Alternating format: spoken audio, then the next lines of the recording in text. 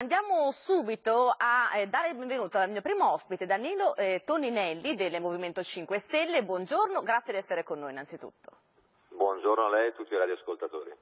Una giornata questa in cui si parla molto di manovra economica perché si attende una lettera che arriverà da Bruxelles che di fatto chiederà di chiarire certi punti eh, sui quali esprime ancora molti dubbi. Certamente però si parla anche di referendum costituzionale, è iniziato ormai il countdown e soprattutto di tagli alla politica. Ed ecco che arrivo alle DDL che quest'oggi presentate alla Camera per eh, tagliare i costi della politica, gli stipendi dei parlamentari.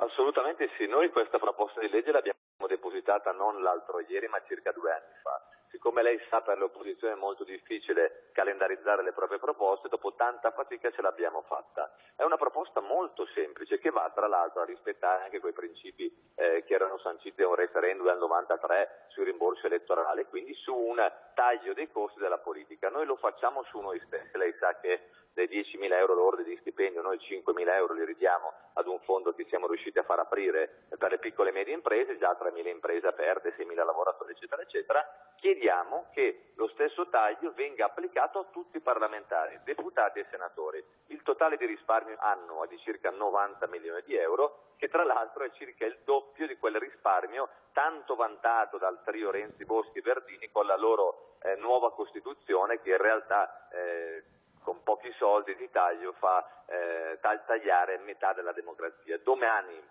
arriverà in aula. Il voto, sappiamo già perché non ci hanno permesso di lavorare in commissione. E che il Partito Democratico non è d'accordo, ma lo sapevamo già, li conosciamo questi soggetti, eh, però è importante che i cittadini abbiano ben di fronte l'assoluta assenza di credibilità di chi propone ai cittadini di votare sì ad una nuova Costituzione perché taglia i costi della politica, l'ha messo pure nel titolo, poi alla prova dei fatti non taglia assolutamente nulla di questi costi.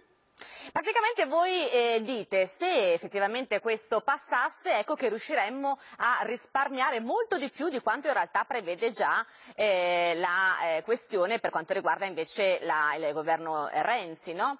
e soprattutto probabilmente lo scontro con il Partito Democratico è dettato anche eh, non tanto dalle modalità quanto dalle tempistiche adottate dal Movimento 5 Stelle, sbaglio?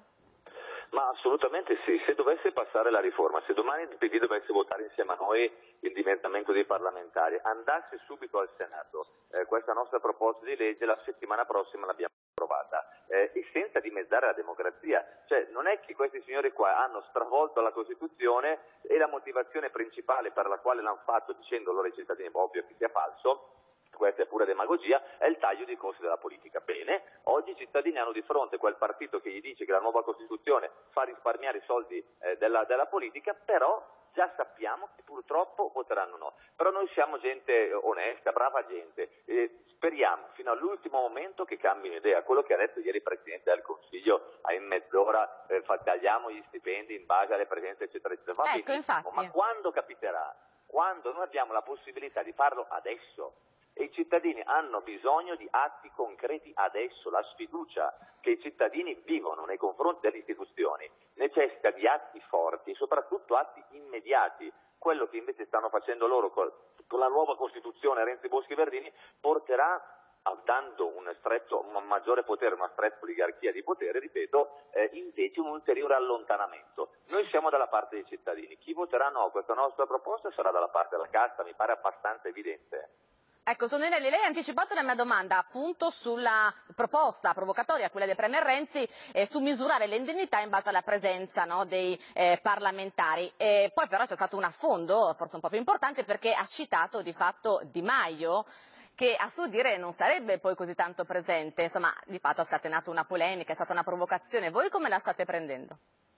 Ma guardi, ha detto bene lei, è stata una provocazione di un soggetto che non fa altro che raccontare, di dire, di, che non fa altro che dire cose e fare l'esatto opposto. Eh, il Presidente del Consiglio sa perfettamente che la carica ricoperta dal Vicepresidente Luigi Di Maio è una carica istituzionale e per questo ha una marea di incontri istituzionali. Mi piacerebbe sapere quante volte sta a Palazzo Chigi, signor Renzi. A noi risulta che sia stata una settimana eh, del, in, in Brasile al Villaggio Italia durante, durante, le Olimpiadi dove si sia parecchio anche divertito, di conseguenza guardi, eh, rispediamo al mittente questa provocazione, lo invitiamo a venire in aula, eh, convinca i suoi del PD a votare a favore di questa proposta penso che così facendo tutti i cittadini avranno maggiore fiducia anche in lui.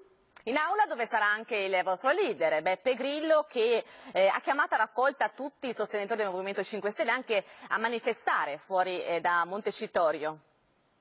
Ma assolutamente sì, ripeto, sono, quelle, sono quei momenti importanti. Eh, I cittadini sono scoraggiati, non si sentono rappresentati dalla politica, non vanno più a votare, non si candidano più a diventare politici. Questo è un dramma, un dramma sociale, le, le nostre migliori menti che se ne vanno. Eh, questi atti, anche se non fanno, perché 87 milioni, diciamolo chiaramente, non è che fa ripartire l'economia, ma è il messaggio. Noi stiamo dando un messaggio di fiducia eh, ai cittadini, stiamo dicendo che prima di tagliare i servizi e aumentare le tasse ai cittadini, ci tagliamo, la politica taglia i soldi che arriva a se stessa, è per quello che è un voto importantissimo e se dovessero, come io purtroppo penso che dovesse capitare che ce lo bocciassero, che lo rimandassero in commissione dicendo ne riparliamo dopo il referendum, io sono convinto che tutti i cittadini già sapranno che sarà una, eh, la fine di questo provvedimento e che questa bella cosa non capiterà mai.